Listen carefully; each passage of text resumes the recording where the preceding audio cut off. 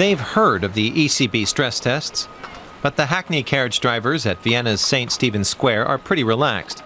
They don't earn a fortune, but their business seems immune to economic crisis. Are they sometimes worried about money? No, what for? Apparently, savings up to 100,000 are safe, and I don't have that much. People like to be pessimistic these days. I don't know why. Not me, I'm optimistic. Optimism wasn't enough for the Austrian Volksbank. The ÖVAG failed its stress test. If the economy were suddenly to collapse, like the test simulated, it wouldn't survive. It doesn't have enough reserves. It's over 860 million euros short. This, although half the bank already belongs to the state, which bailed it out when it lost 1.3 billion euros last year. Rival firms are playing down the situation. They say the bank's risky investments in southeastern Europe are to blame. The fact that there's a capital shortfall was to be expected because of the Eastern European assets. Romania hasn't yet been sold, also the real estate sector. It's not really a surprise, and the bank's done a lot in 2014 to overcome the shortfall. But not enough, apparently.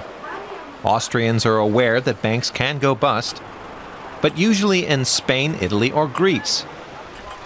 Many would not have thought one of their national banks could be affected.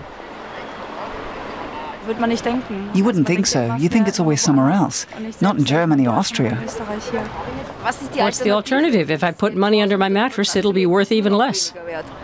I'm glad that the test has shown it's effective, that it's got teeth. Otherwise, it would be unreliable. But is that really the case? Six Austrian banks took the ECB's test.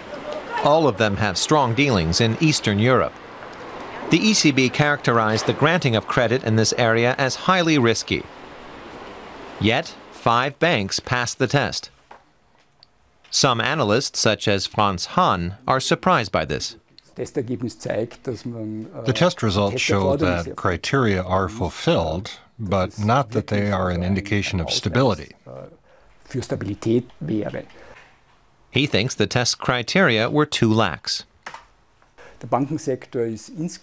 The banking sector generally does not have enough reserves, and banks are not encouraged by the regulating authorities to have higher equity ratios. So the banks are seduced, let's say easily seduced, into adopting very risky business models. The Raiffeisenbank, with investments in Hungary, the Czech Republic, Poland, and Romania, was also tested. The analysts here are glad it passed.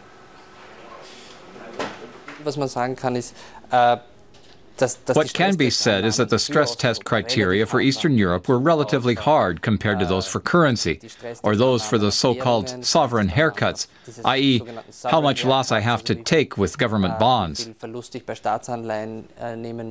So we had very hard criteria, and I wouldn't really say that the stress test wasn't strict enough.